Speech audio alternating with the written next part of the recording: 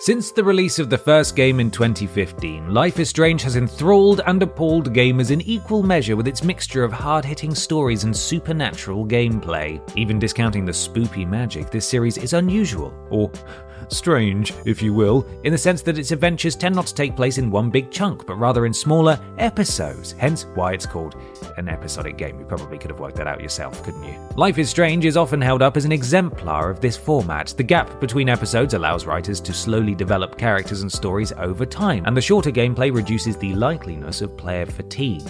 It doesn't mean that you have to fork out every time they add new content, but as Billy Ray's daughter once sang, Nobody's perfect. But what if you've caught the episodic adventure bug and clamour for a world outside of Max Caulfield and Alex Chen? Well, I may not be telepathic, but I think I can say with some confidence that you'll enjoy these titles too.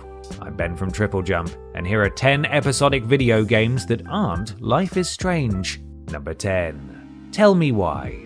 Released smack bang in the middle of the end of the world, Tell Me Why is the work of French developer Don't Nod Entertainment. If that sounds familiar, it's because these are the people who brought you the first two Life is Strange games. The pedigree here is Tresbian. This game follows the story of twins Tyler and Alyson Ronan as they reconnect following the death of their mother after a decade apart. Oh, and they can also communicate telepathically, because a Don't Nod game without supernatural powers would be like a James Bond movie without the cars, martini, and casual misogyny. Tell Me Why released in three weekly installments in August and September of 2020. Whilst it was criticised for its gameplay by some players, players, it garnered praise for its voice acting, setting, and complex characters, particularly that of Tyler Ronan, who was the first transgender character to star in a AAA title. So, if you don't want to stray too far from Life is Strange but still want to brag to your friends that you tried something new, then Tell Me Why might just be the game for you.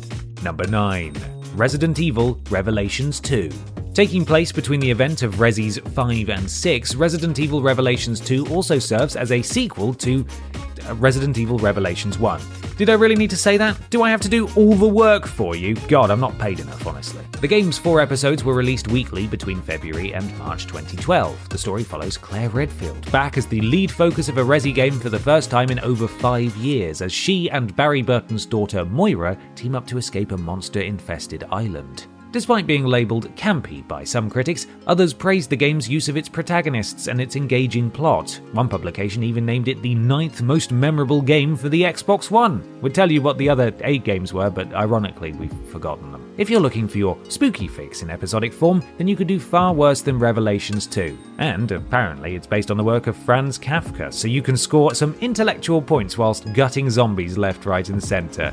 If that isn't a dream come true, I don't know what is. Number 8. American McGee's Grimm.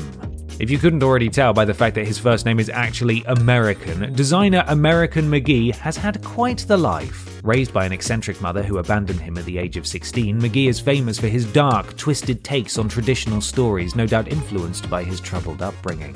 Oh, and he helped design Quake, but that wasn't episodic, so it's basically worthless. In 2008, the designer released American McGee's Grimm, a 23 part, multi seasoned reimagining of various Brothers Grimm fairy tales. The stories ranged from Snow White, Pinocchio, and the Golden Goose to The Singing Bone, Godfather Death, and The Girl Without Hands bedtime classics one and all. Each season of Grimm was released like that of a TV show. Episodes were available to play for free on day of release and could then be paid for any time after that. In total, three seasons of the game were put out between 2008 and 2009.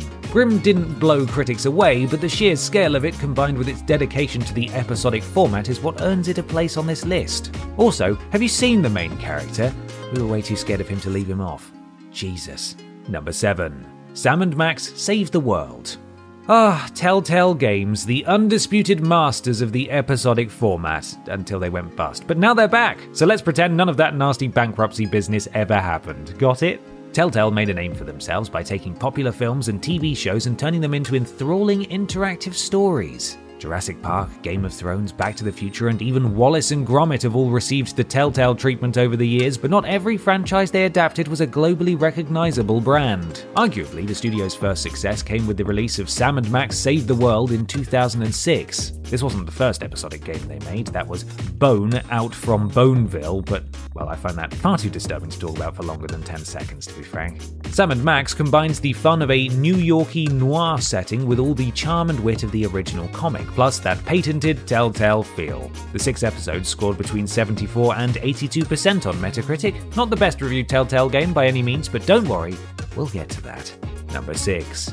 King's Quest. Fans of 80s adventure games will no doubt be familiar with the King's Quest series. Debuting in 1984, King's Quest Quest for the Crown took the gaming world by storm with its enhanced graphics and stellar design courtesy of the legendary Roberta Williams. It's no surprise then that it's been revived more times than Loki in the MCU. Its most recent rebirth, also confusingly titled King's Quest, dropped in 2015 and was an episodic game. Gosh, what are the chances? King's Quest open brackets 2015 closed brackets sees an older version of the original game's hero, Sir Graham, telling his granddaughter about his adventures through a series of flashbacks. The gameplay differs from King's Quest's original point and click style, but the story harkens back to the earlier title and even includes updated versions of the other game's events. With five chapters to play and plenty of nostalgia mixed in with the new stuff, if you enjoy your episodic games with a hint of medieval about them, then King's Quest will surely give you a night to remember. Okay, I hold my hands up here. I stole that gag from one of the episode titles.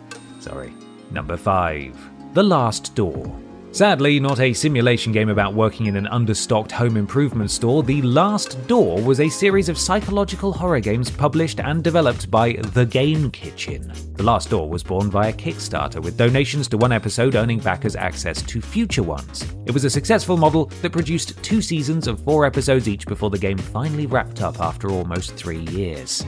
The game is still available online and was even ported to the PlayStation 4 and Switch, because who wouldn't want to see those stellar graphics on a plasma screen? Whoa, look at those pixels.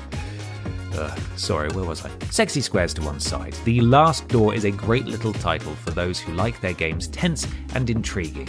Now, show me more of those pixels. Oh, yeah, that's the stuff. Look at them. Number four Tales of Monkey Island. It's Telltale Games again!